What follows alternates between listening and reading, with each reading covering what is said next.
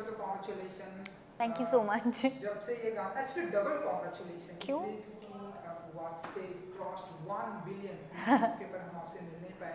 हाँ जी। वो क्रॉस किया. एंड नाउ नयन अब हम देख रहे हैं कुछ 42 मिलियन क्रॉस कर चुका है. सो क्या फील करती हैं सब? जब से ये गाना आया है लोग बहुत सारी बातें कर रहे हैं एंड बहुत ही अप्रिसिएट किया जा रहा है इस गाने को. सो ध्वनि जी कुछ कहना चाहेंगे? को लेकर आपको क्या लगता है?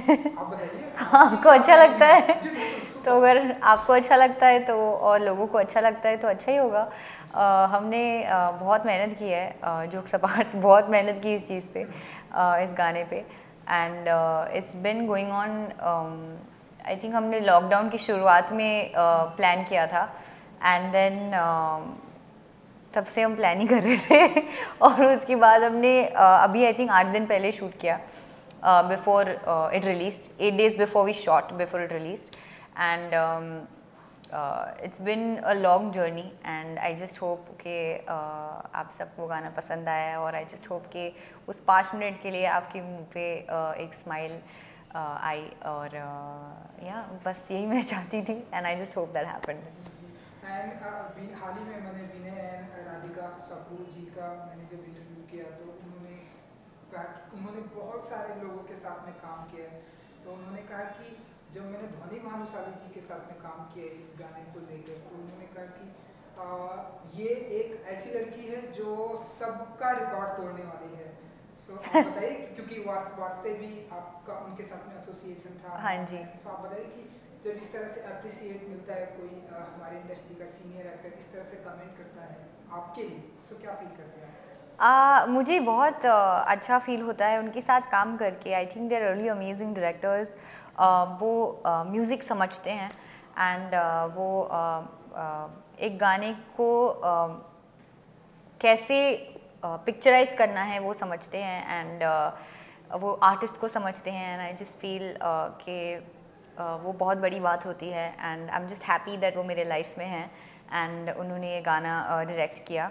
वीडियो डायरेक्ट किया एंड वास्ती भी डायरेक्ट किया and I am just really grateful to them and गाने का जो फीचर किया गया वो बहुत ही ब्यूटीफुल है एंड लोग जो है आप कितना मानती हैं कि अभी भी जो है रैगिंग होती है एंड रैगिंग को बंद होना चाहिए जिस जिस तरह से मैसेज है एक आई फील लाइक हमने बहुत स्वीटली चीज़ें दिखाई है. Uh, हमने बेसिकली प्रॉब्लम्स जो होते हैं उसको भी uh, uh, कम करके दिखाया है।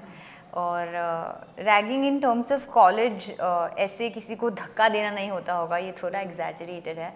बट uh, होती है आई फील लाइक अभी भी you know emotionally a lot of people get hurt so I think हम सबको uh, थोड़ा um, सोच समझ के एक्शंस करना चाहिए. Even when you are in college I feel like a lot of things that we do sometimes hurt people so थोड़ा समझ के यू you नो know, थोड़ा um, हार्ट अच्छा रख के हमको uh, लोगों से बात करना चाहिए या बिहेव करना चाहिए. And I think that's one message that's that's gone in the song and otherwise also when the fresher comes in you call me a fresher because I am always जब भी मैं कोई भी चीज़ करती हूँ तो बहुत सेल्फ डाउट होता है। And that's one quality in me but once I am comfortable in that situation then I kill it you know so वो आई थिंक विनय राधिका ने kind of they saw the amount of time that have spent with them I think they know me that much and ये uh, चीज़ जो है वो uh, बाहर लाए हैं इस वीडियो के ज़रिए। एंड um, um, मेरी जैसे बहुत सारे लड़के लड़कियाँ होंगे। So I feel like they will relate with something like this अब हम देख रहे हैं कि गाने के साथ साथ में अब स्टोरी भी आती है एंड स्टोरी चलती है। एंड अब ये जो ट्रेंड चेंज हो चुका है इसे कैसे देखती हैं ध्वनि जी? आई फील लाइक कुछ कुछ गानों की स्टोरी होती है कुछ कुछ गानों में स्टोरी नहीं भी होती है।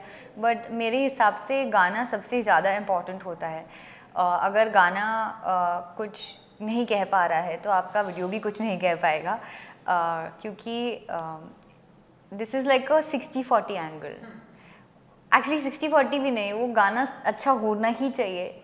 अगर वो अच्छा नहीं होगा तो आपका वीडियो क्या कॉम्प्लीमेंट करेगा you know it is an audio visual medium but music तो यू नो कान को पहले लगना चाहिए फिर दिल को लगना चाहिए। अगर दिल को लगेगा नहीं सुन के तो फिर आप देख के क्या करेंगे?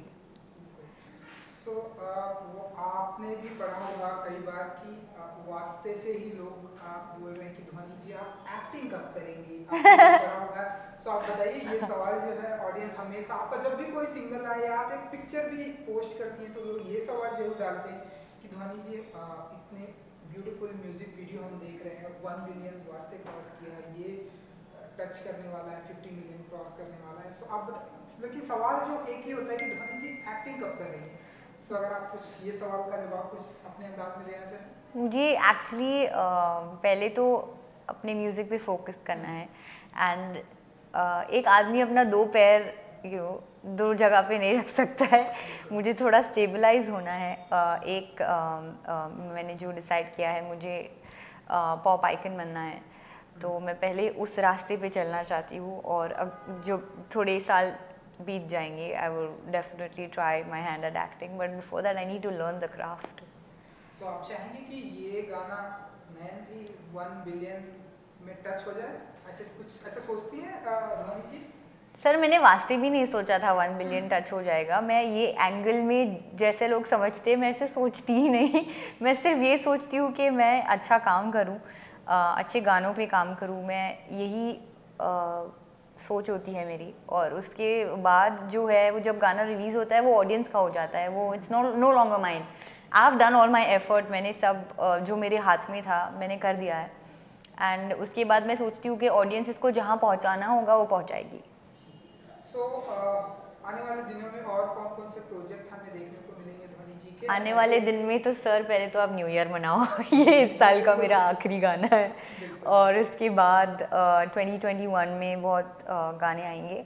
But for now I think every one should listen to Nain and feel happy and after that enjoy new years take care of your self be safe and या मैं यही चाहती हूँ कि अभी 2020 ख़त्म हो जाए। हमने वीडियो में भी कहा है फेयरवेल 2020 जी बिल्कुल इसीलिए ये मेरा सवाल था सो so, आपको ऐसे आ, कुछ फ्यू लाइंस अगर आप गुनगुना सकें अगर आप हाँ जी आपके अंदाज में